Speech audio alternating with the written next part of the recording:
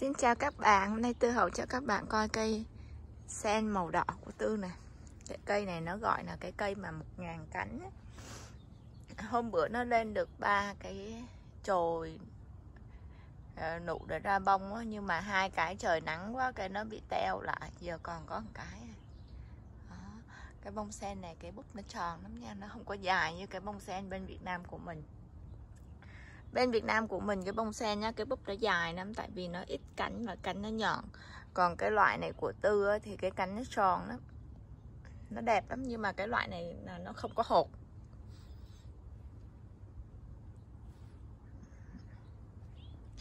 Um sùm luôn á chứ. Bự lắm nha mọi người. Hôm qua Tư phải dọn ở phía trong á để cho nó vô trong chứ nó đi ra ngoài hết cái đường đi luôn á. Cho nó đâm qua phía bên kia cây màu hồng của tư thì chưa có cái bông nào hết. Cái hoa lại của tư này. Hôm nay bắt đầu sẽ lặt vô để làm trà. Ở trong nhà tư có trà ướp sen nhưng mà tư cũng chưa uống nữa. Uhm, cây bông lại quá trời bông. Khi mà đủ nắng ra bông nhiều lắm. Cái sen mà hồng của tư này nó bị ít đất quá thành ra nó bị đổ. Mấy cái lá nó mọc á nó không có vững mà chưa có bông. Năm nay chưa thấy. Mới có ra cái nụ thôi, cho mọi người coi nụ này này, sen màu hồng. Đó, có một nụ. Qua đây, cái hồ này nó bị rệp á. Hôm qua tư mới cắt hết cái lá bị rệp đi. Rồi chiều nay tư sẽ xịt thuốc, pha nước xà bông rửa chén để xịt cho hết rệp. Cá nó được đi ra tung tăng mấy cái con cá này là tư mua cái cá mà để dành cho những con cá bự nó ăn đó. Thì tư mua mấy cái con này có mấy chục sen nha ba bốn chục sen gì một con à. Tư nuôi mấy năm thì nó được bự như vậy. Chắc ít nhất cũng phải 5 năm. Đó, từ cái con cá nhỏ xíu như cá lòng tông mà giờ nó bự vậy ở bên này tư còn một con rùa. Tư có bốn con rùa mà nó đi hết. Một con thì tư thấy hồ bên kia, nó ăn hết súng của tư. Nó nhổ rễ, nhổ bông, nó ăn hết. Thì còn một con ở bên này. Đó. Năm nay nho của tư không có nhiều trái như năm trước. Nhưng mà tư thấy cái trái nó bự hơn. Mấy cái lá khô từ năm trước mà tư cũng chưa có dọn xong. Hôm qua tư cũng ra dọn được chút thôi mà không có chỗ để bỏ rác nữa rồi thành ra để cho tuần này dọn tiếp. Không có nhiều trái nhưng mà trái nó bự chứ nó không có nhỏ. À, tôi có cây rau bồ ngót này mọi người. Ở Mỹ này cây rau bồ ngót là hiếm lắm nha. Tôi phải trồng ở giữa cái vàng nó mới sống đó. Tôi trồng bao nhiêu lần mới được một lần. À, cho mọi người coi cái cây bông này của anh bạn. Hả? giờ ra bông đẹp quá nè. Trời ơi xinh xuất sắc luôn. Bông nhiều cánh Trong chậu nhỏ xíu à. Tư sẽ phải kiếm cái chậu đẹp từ trồng ra. Nhà Tư đã có bông gấp nha mọi người. Ờ, Hôm bữa bên kia thì thấy bông con gái Bây giờ qua này thấy bông con trai nè. Giờ phải kiếm cái bông con gái để chấm cái nhụy vô Hình như là vậy. Ở bên Mỹ này tự phải chấm bông á. Chứ tự nó đậu nó không đậu đâu. Bữa mình thấy bên này nó có bông gái giờ đâu mất rồi. Ơ, nó hư rồi mọi người. Nó Ơ, ở trên kia có giờ sao tôi trèo lên? Tít ở trên kia nó có cái bông con gái, Có cái trái ở dưới này. Sao trèo lên đó được? Đó, mọi người thấy không? Thoáng thoáng đó. Sao trèo lên đó chấm bông ta? Trèo chắc lọt xuống cái ờ, hồ quảng cá quá. Ừ. Bông rất xinh quá. Nói chung là từ hồi mà tư trồng cái cây gấc này thì chưa bao giờ tư được trái gấc. Hồi trước tư trồng một cây bự lắm trong cái giàn cũ. À, cái giàn lụp sụp ở bên kia kìa. Tư trồng một cái à, giàn bông gấc bự cây bự cái hồi ông cắt cỏ ông tới à, ông làm lại cái giàn cho tư. Là tại vì cái giàn nó bị mưa bão nó sụp.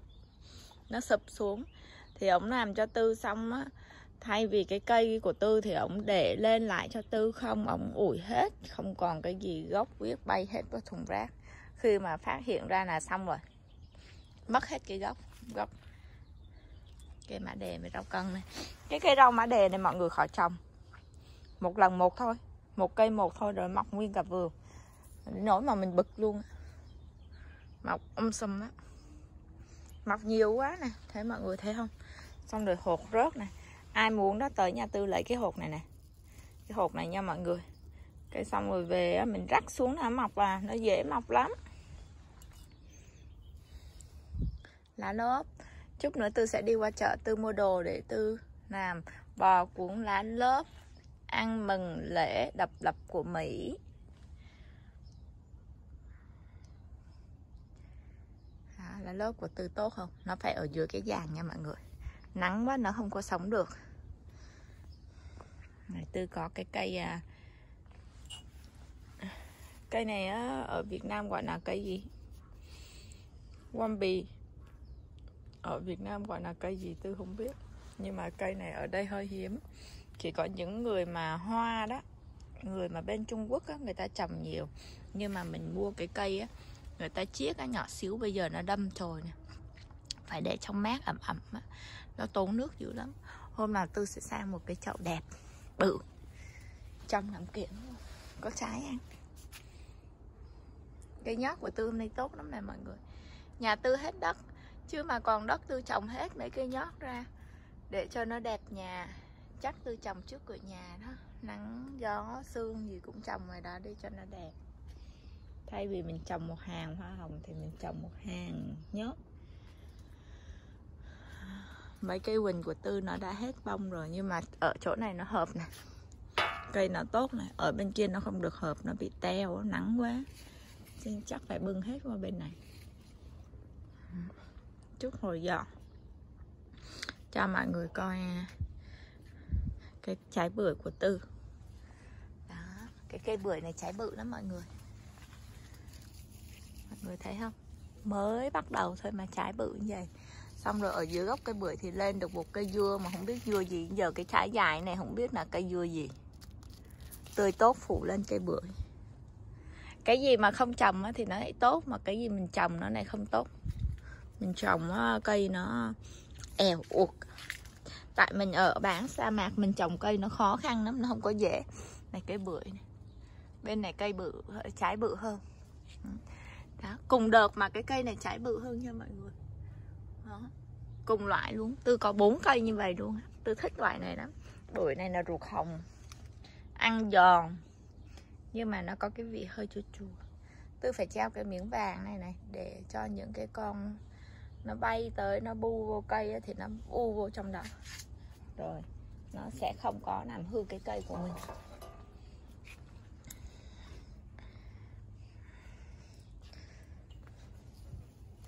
Đó cái cây bông này là cây bông hoa dâm bụt dâm bụt bên Việt Nam rất là xấu, nhưng mà dâm bụt ở Mỹ thì nó đẹp như vậy nè mọi người.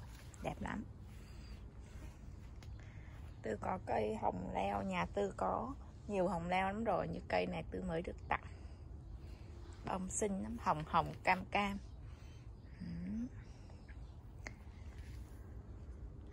Để cho mọi người coi tới cây bưởi khác. Cây bưởi khác của tư. Đẹp mơ mà trời. Nó bị nắng quá đó mọi người. Nắng quá, cây nó bị không có tốt. Trái nó rụng mất mỡ rồi. Thời tiết ở chỗ của tư trồng cây khó khăn lắm, không có dễ.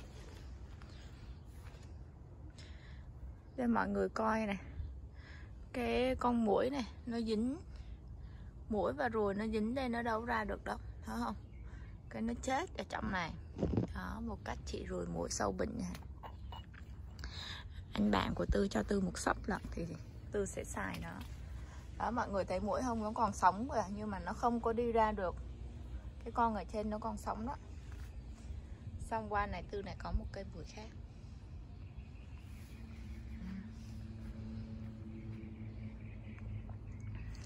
À, cho mọi người coi cái súng màu tím này.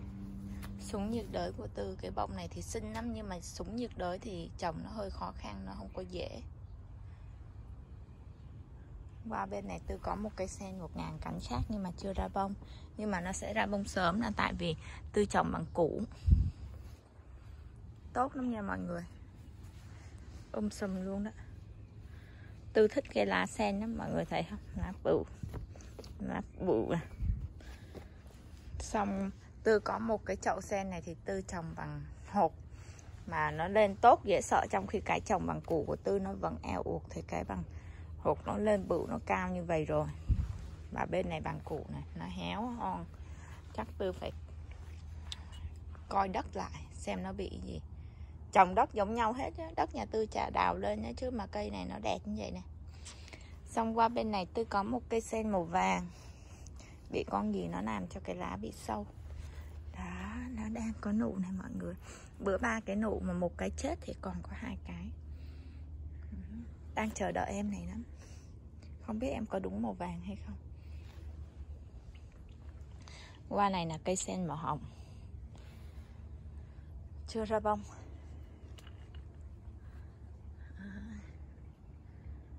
Này cái hoa giấy của tư thì lúc nào nó cũng um sùm hết.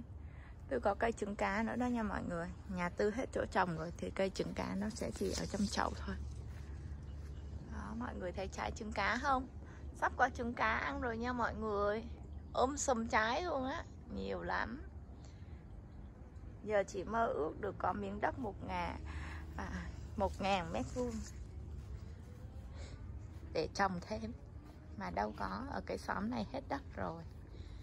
Nếu mà đi ở xa xa sẽ có nhiều đất lắm. Mấy nhà đi vô trồng chút đất. Nhiều à, tư có cây bưởi khác để tư khoe mọi người nữa nè không biết cái bưởi này là bưởi gì mà trái nó dài.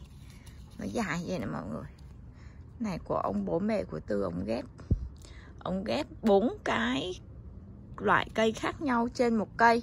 Thì ông có ghép cây quýt cây cam cây bưởi và cây chanh. Ông nói tư vậy đây mà tư không, không biết bốn cây đây. Ông ghép đây ông ghép rất là hay. Đó bốn cây. Mà tư chỉ thấy có ba loại.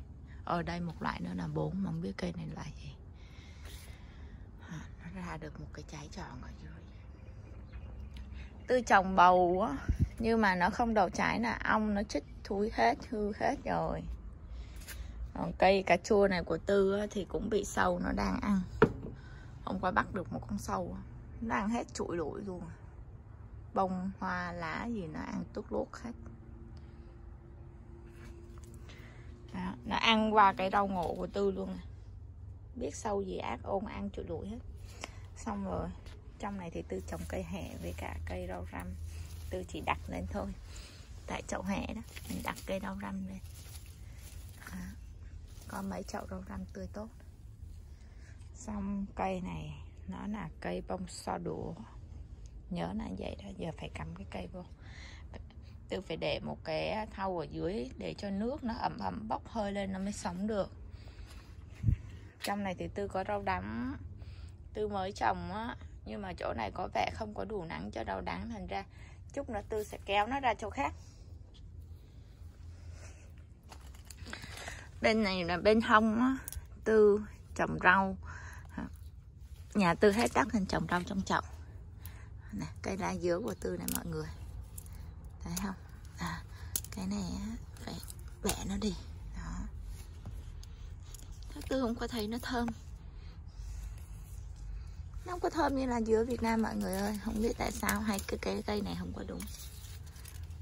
Thấy cái chồi không? Kiến quá trời. Nó nằm ổ luôn đó mọi người. Nhưng mà tư có hai cái mầm, ba cái mầm nó đang mọc đó mọi người thấy không? Kiến quá nè. Chút nữa phải mà mang thuốc ra xịt. Mình chỉ cần pha nước xà bông thôi mọi người là mình xịt được rồi. Xong rồi phải bỏ hết cái này xuống cho cái cây nó phát triển. Ừ. Tươi tốt lắm mà sao không thấy thơm? Ôi, hết chỗ trồng trong này nó như một cái rừng bông hoa. Tư có cây này là cây bí đao của ông bố tư ông mang cho hôm bữa với một cây mướp ở trong này nè. À, hy vọng là năm rồi tư trồng bí đan trái bự lắm. Cho nên năm nay tư cũng hy vọng trái nó bự như năm rồi năm rồi trái bự, đã luôn á. Nó sẽ trèo lên trên cái giàn này nè mọi người. Ở đây một cái giàn này, thấy không? Đó. bầu thì nó cứ bị chích à, nó hư hết rồi, không có được gì hết á.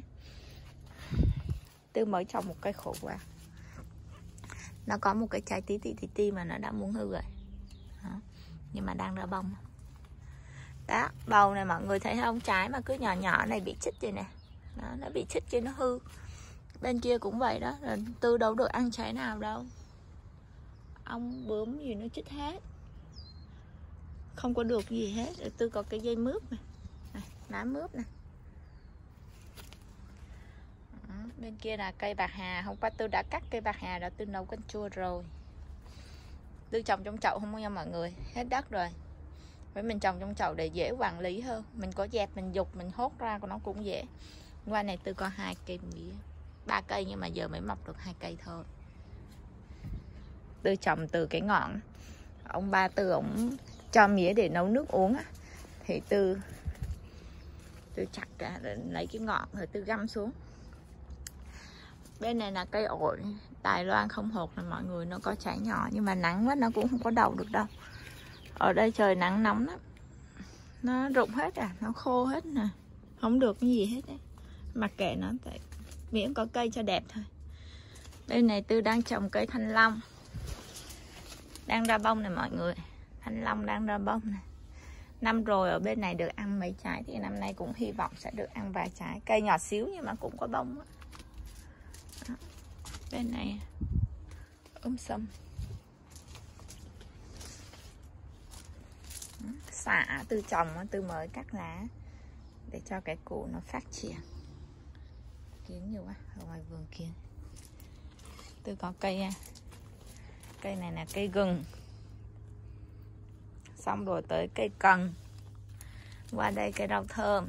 Này cây à, củ kiệu này hôm bữa trong chậu bự tôi đánh vào đây tại lấy chậu để trồng cây khác rồi này là cây rau chua. Hình như ở Việt Nam mình hồi trước tư ở tư không có thấy cây rau chua. Nhưng mà tư qua Mỹ thì tư thấy cây rau chua cây rau chua của tư đang bị sâu nó ăn. Nhưng mà chưa thấy con sâu đâu hết á. Không biết con sâu ở chỗ nào. Chỉ thấy nó ị đầy đây hả chưa bắt được sâu nha mọi người. Không biết sâu ở đâu. Đây tư đã thấy con sâu rồi mọi người. Một em sâu. Giờ mang em sâu này đi vô cho con gà của mình nó ăn, nó sẽ happy lắm rau chua đó bị sâu ăn. Này là cây rau quế hôm qua tư cũng hái từ đầu canh chua. Là tại vì cây rau ngộ nó hư rồi thì mình lấy rau quế. Này, tía tô. Ở bên Mỹ này thấy trồng gì chứ? Tía tô với chiếc cá là nó mọc um sùm. Ăn không hết. À, không biết làm gì tới nó luôn. Này thì đang trồng rau thơm. Hôm bữa nó bên kia nó tốt lắm á tư đánh qua đây chị cho nó ở trong cái chậu này thôi. Này là cây ờ, giềng cây giềng. Uhm, cái này kho cá thì phải tuyệt vời. Đó. từ trước có trồng cây nghệ nhưng mà tới mùa đông nó chết mất rồi. Cánh đọt mướp này. Giờ mình bắt nó vô đây. Cà chua bị sâu ờ, ăn hết bông rồi. Giờ không còn bông đâu hết Đó, này là toàn bộ cái khúc mà bên hông của tư đó, trồng rau, trồng bông.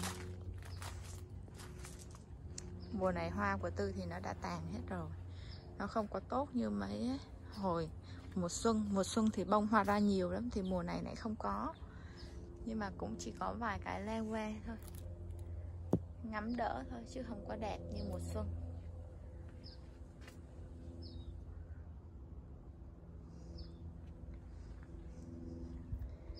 Cảm ơn mọi người nhiều nha. Tạm biệt mọi người.